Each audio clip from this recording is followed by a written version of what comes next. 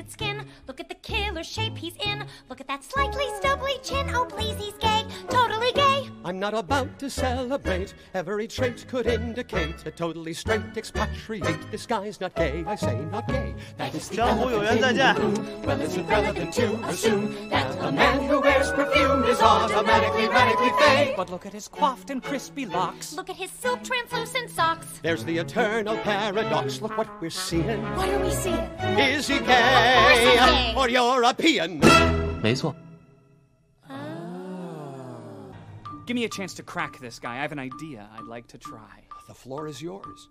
So, Mr. Argitakos, this alleged affair with Ms. Wyndham has been going on for. Two years. And your first name again is? Nikos. And your boyfriend's name is? Carlos. I, I sorry, I misunderstand. You say boyfriend, I thought you say best friend. Carlos is my best friend. Peoples, I have a big announcement. This man is gay and European. And neither is his place. You gotta stop your being a completely closet case.